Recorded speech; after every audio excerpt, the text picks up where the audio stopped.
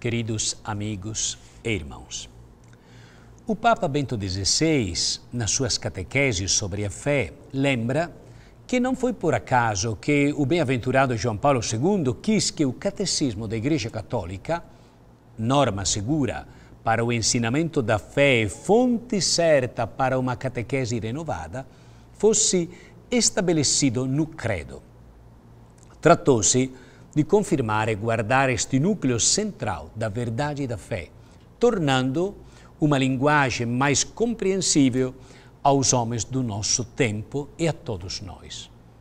É um dever da Igreja transmitir a fé, comunicar o Evangelho, a fim de que a verdade cristã seja luz nas novas transformações culturais e os cristãos sejam capazes de dar razões da esperança que portam. Hoje, diz o Papa, vivemos numa sociedade profundamente alterada, mesmo em relação a um passado recente e em contínuo movimento. A vida é vivida muitas vezes com leveza, sem ideais claros e esperanças sólidas, dentro das ligações sociais e familiares líquidas, provisórias.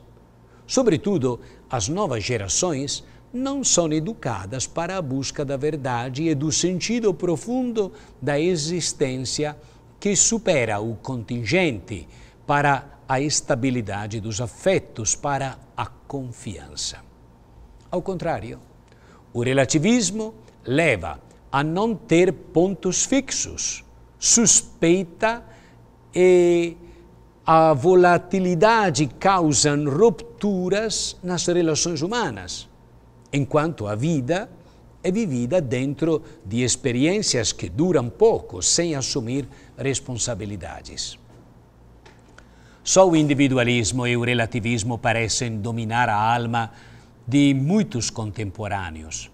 Não se pode dizer que os que creem estão totalmente imunes a este perigo com o qual somos confrontados na transmissão da fé.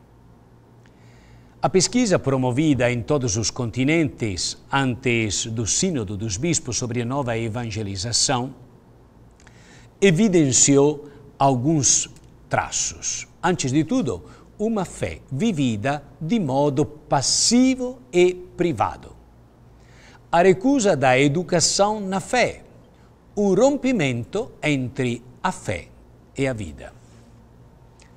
O cristão muitas vezes não conhece nem sequer o núcleo central da própria fé católica, do credo, de modo a deixar espaço a um certo sincretismo e relativismo religioso, sem clareza sobre a verdade de crer e da singularidade salvífica do cristianismo. Não está tão longe hoje o risco de construir, por assim dizer, uma religião Faça você mesmo, do jeito que você quiser, conforme os seus gostos. Devemos, ao contrário, dizer que é necessário voltar para Deus, ao Deus de Jesus Cristo. Nós precisamos redescobrir a mensagem do Evangelho, fazer com que o homem encontre de modo mais profundo na sua consciência e na sua vida cotidiana o próprio Jesus Cristo, faça a experiência de Deus. Por estes motivos, o Papa, nas catequeses deste ano da fé, quer oferecer uma ajuda para percorrer este caminho, para retomar e aprofundar a verdade central da fé em Deus, no homem, na Igreja, em toda a realidade social e cósmica, meditando e refletindo sobre as afirmações do Credo. Ele afirma que este conteúdo ou verdade da fé se conecta diretamente às nossas vidas, pede uma conversão da existência, que dá vida a um novo modo de crer em Deus.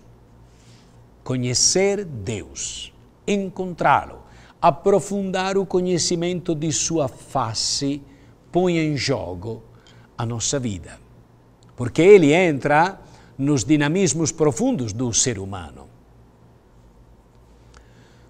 E na sua catequese, o Papa Bento coloca de forma clara a questão fundamental: o que é a fé? Ainda há um sentido para a fé num mundo cuja ciência e a técnica abriram horizontes até pouco tempo impensáveis. O que significa crer hoje? De fato, no nosso tempo é necessária uma renovada educação para a fé, que inclua um conhecimento das suas verdades e dos eventos da salvação, mas que, sobretudo, nasça de um verdadeiro encontro com Deus em Jesus Cristo, de amá-lo, de confiar nele, de modo que toda a vida seja envolvida. Que nós possamos ter a alegria de começar esta experiência, este encontro e de ajudar as outras pessoas, aquelas que ainda não encontraram Jesus, a fazer esta experiência pessoal, profunda, verdadeira do encontro com Jesus. Que Deus abençoe a todos, em nome do Pai, e do Filho e do Espírito Santo. Amém.